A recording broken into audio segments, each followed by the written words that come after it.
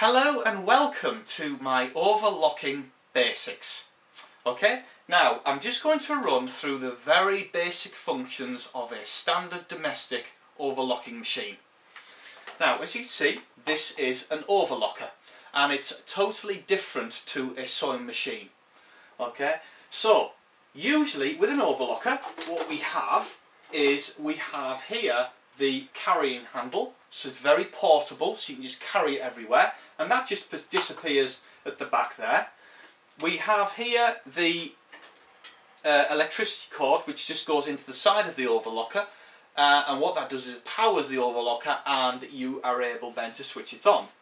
Okay? Here we have uh, a peripheral for the uh, overlocking foot. So very much like a sewing machine you have a foot as well to uh, operate this type of machine.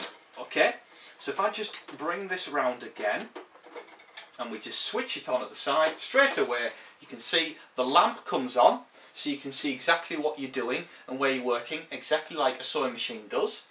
Okay, we have here a, a tray, so any excess thread that falls off just get caught into this tray here and then when it's full you can just dispose of it and tip it out into the bin okay all your threads now with an overlock machine um, they usually work with either a two, a three or a four thread. Usually it's a three thread that you would use most of all.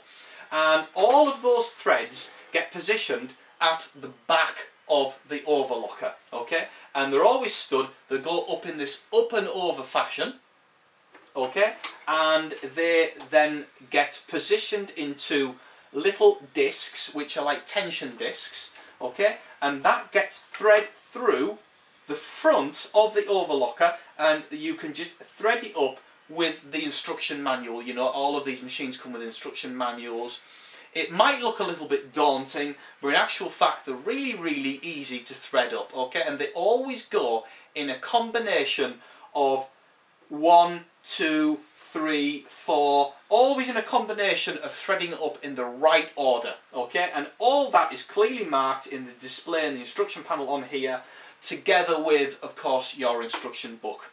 Now, with this overlocker, what we have here is we've got our accessories, so we've got our uh, tweezers, okay, which you can just use to pull the threads through when you're threading it up or when you're threading up to the needle. Uh, we've got a little screwdriver here, we've got machine needles, uh, we've got a little brush here to um, brush out any sort of excess threads and lint and, and, and fluff and all that kind of thing that gets caught up in here.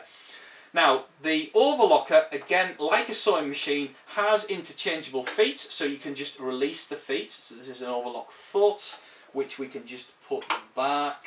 Just, yeah, that clips in.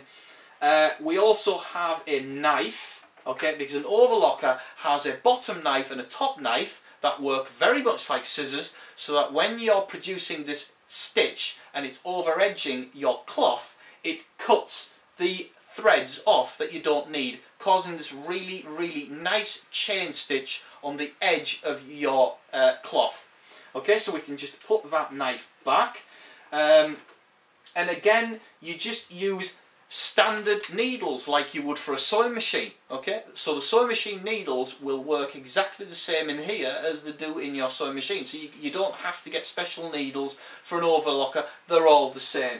And again the glue that comes with um, not glue uh, oil that comes with the overlocker is usually the same oil that you would get with a sewing machine. So they're all sort of interchangeable and very easy to use okay? And an overlocker machine is the absolute perfect complement machine to have alongside the sewing machine